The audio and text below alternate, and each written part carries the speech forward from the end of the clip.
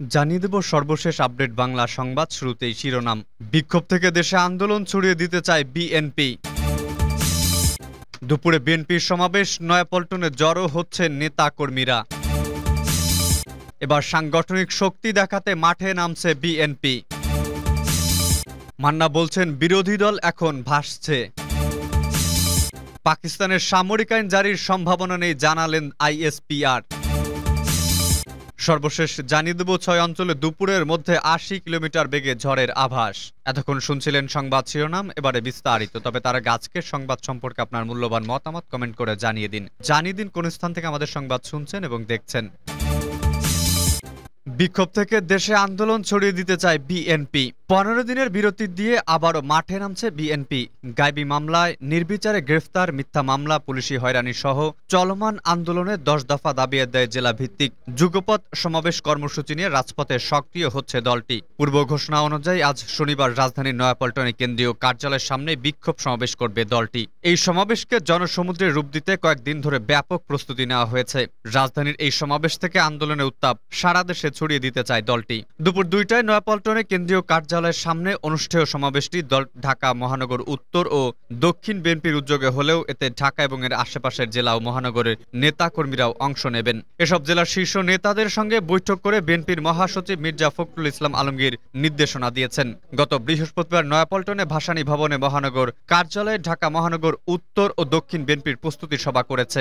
অঙ্গ ও সহযোগী সংগঠন ও ধারাবাহিক বৈঠক করছে। বিএনপির জ্যেষ্ঠ যুগ্ম মহাসচিব রুহুল কবির রিজভি আমাদের সময়কে বলেন, সর্বশেষ এক মে শ্রমিক দলের উদ্যোগে রাজধানীর বড় জমায়েত ও শোভাযাত্রা অনুষ্ঠিত হয়েছিল। এবার আমরা সরকার বিরোধী চূড়ান্ত আন্দোলনে মাঠে নামছি। সরকার পতন না হওয়া পর্যন্ত এই কর্মসূচি চলবে। বিএনপি নেতারা জানান জেলা ভিত্তিক সমাবেশের মধ্য দিয়ে সরকার বিরোধী চূড়ান্ত আন্দোলনের প্রথম ধাপ শুরু করবে দলটি। দশ দফা দাবির পক্ষে সাধারণ মানুষের সমর্থন আদায় আজ দেশের বিরাশি সাংগঠনিক জেলার সমাবেশের কর্মসূচি ঘোষণা করা হবে। বিএনপির স্থায়ী কমিটি ও সাংগঠনিক সম্পাদকদের পৃথক বৈঠক থেকে এমন তথ্যই জানা গেছে। বিএনপির ঢাকা বিভাগীয় সাংগঠনিক সম্পাদক আব্দুল সালাম আজাদ আমাদের সময়কে বলেন, আমরা গণতন্ত্র ও ভোটাধিকার প্রতিষ্ঠায় যে আন্দোলন করছি তা মূলত জনগণের দাবি। সাধারণ মানুষই গণ আন্দোলনকে এগিয়ে নেবে এবং সরকার এসব দাবি পূরণে বাধ্য হবে। অন্যথায় আমরা এক দফা আন্দোলনে যাব। জানা গেছে, প্রথম দফায় উনিশ অথবা বিশ মে থেকে যুগপথ আন্দোলনের নতুন কর্মসূচি শুরু হয়ে সাতাশ মে পর্যন্ত চলবে। এরপর তিরিশ মে জিয়াউর রহমান মৃতবার্ষিকীর কর্মসূচির জন্য কিছুদিন বিরতি দিয়ে আবার কর্মসূচি ঘোষণা করা হবে। বিএনপির পাশাপাশি যুগপথ আন্দোলনে থাকা সমমনা রাজনৈতিক দল ও জোট মাঠে নামবে। গত বারো অক্টোবর থেকে দশ ডিসেম্বর পর্যন্ত অনুষ্ঠিত বিভাগীয় গণসমাবেশের আদলে এই সমাবেশ করতে চায় দলটি। দলটির নেতারা জানান, এবারের আন্দোলনকে তারা নিজেদের বাঁচা মরার সঙ্গে তুলনা করছেন। ঢাকা উত্তরের আহ্বায়ক আমানুল্লাহ আমান বলেন, থানায় থানায় কর্মী সভা হচ্ছে। এই সমাবেশে মির্জা ফখরুল প্রধান অতিথি হিসেবে গুরুত্বপূর্ণ বক্তব্য রাখবেন। মহানগর দক্ষিণের আহ্বায়ক আব্দুল সালাম বলেন, এই সমাবেশকে সফল করতে মহানগর ও এর অঙ্গ সংগঠনগুলো যৌথ সভায় যৌথভাবে কাজ করছে। রমজান ঈদের পর মহানগর বিএনপির এটি বড় আকৃতির কর্মসূচি।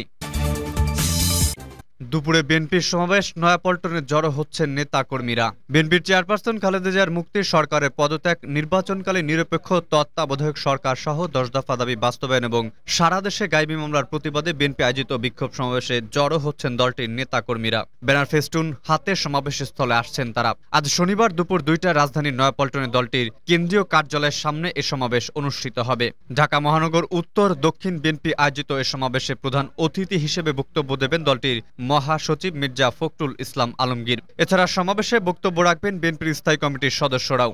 নয়াপল্টন ঘুরে দেখা যায় বিএনপির কেন্দ্রীয় কার্যালয়ের সামনের সড়কে পিক আপ ভ্যানের পর অস্থায়ী মঞ্চ তৈরির কাজ শেষ হয়েছে।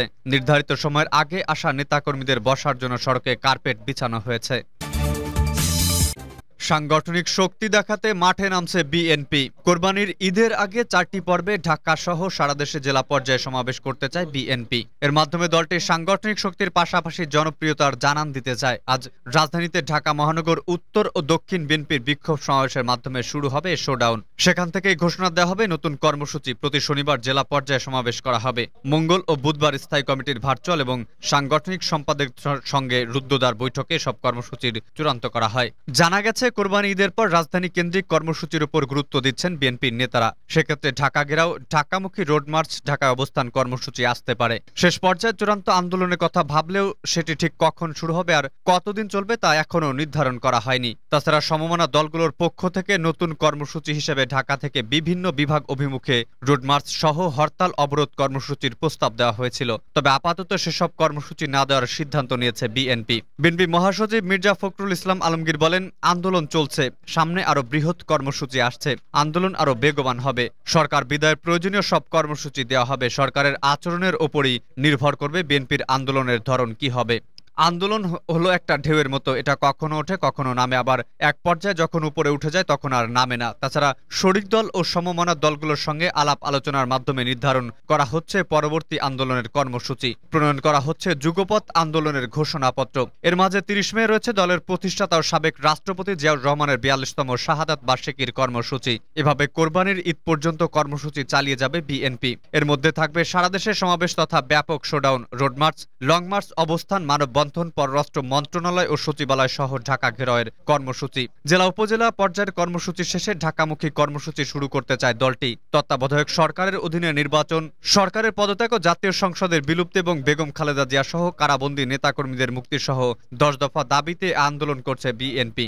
ধারাবাহিক কর্মসূচির শেষ পর্যায়ে তত্ত্বাবধায়ক সরকার ইস্যুতে এক দফা তথা অল আউট কর্মসূচিতে যেতে পারে বিএনপি সহ সমমনা দলগুলো। জানা গেছে, এবারের কর্মসূচির উল্লেখযোগ্য সব নির্দেশনা আসছে যুক্তরাজ্য রাজ্যে অবস্থান করা দলের শীর্ষ নেতৃত্বের কাছ থেকে। এছাড়া তৃণমূলের নেতাদের নির্দেশনা আসছে ভারপ্রাপ্ত চেয়ারম্যানের কাছ থেকেই। কেন্দ্র ছাড়াও প্রতিদিনই দেশের কোথাও না কোথাও প্রত্যন্ত অঞ্চলের নেতাদের সঙ্গে ভার্চুয়ালি মত বিনিময় করছেন তিনি।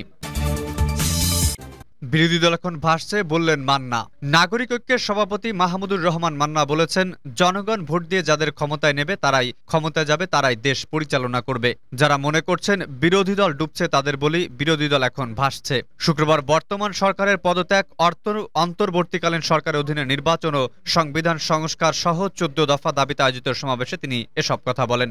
জাতীয় প্রেস ক্লাবের সামনে এ সমাবেশের আয়োজন করে ছয়টি রাজনৈতিক দলের জোট গণতন্ত্র মঞ্চ। সমাবেশে মাহমুদুর রহমান মান্না আরও বলেন, সারা দুনিয়াতে নিত্যপণ্যের দাম কমছে, কিন্তু বাংলাদেশে নিত্যপণ্যের দাম বাড়তির দিকে। কেন লবণ, চিনি, আটা, পেঁয়াজ, রসুন সহ নিত্যপণ্যের দাম বেশি? কারণ ওই সমস্ত জিনিস ভর্তি জাহাজ গভীর সমুদ্রে আছে, কিন্তু ডলারের কারণে বন্দরে নিয়ে এসে খালাস করা যাচ্ছে না। তিনি আরও বলেন, আমরা বলেছিলাম বাংলাদেশের অবস্থা শ্রীলঙ্কার মতো হবে, এখন সেদিকেই যাচ্ছি আমরা। অনেক দৌড়দৌড়ি করে আইএমএফ বিশ্ব ব্যাংকের কাছ থেকে কিছু টাকা চেয়ে প্রধানমন্ত্রী বলেন, যাক, একটু আরাম করে নিঃশ্বাস নিতে পারলাম। দম আটকে গিয়েছিল সরকারের, কারণ টাকা নেই টাকার কোনো দাম নেই। তিনি বলেন, প্রধানমন্ত্রীর গলাবাজি অনেক কমে গেছে, এটি আরও কমবে, কমতে পাকিস্তানের সামরিক আইন জারির সম্ভাবনা নেই, জানালো আইএসপিআর। পাকিস্তানের সাবেক প্রধানমন্ত্রী ইমরান খানের গ্রেফতার নিয়ে চার দিনের রাজনৈতিক অস্থিরতার পর দেশটির সেনাবাহিনী সামরিক আইন জারির খবর অস্বীকার করেছে।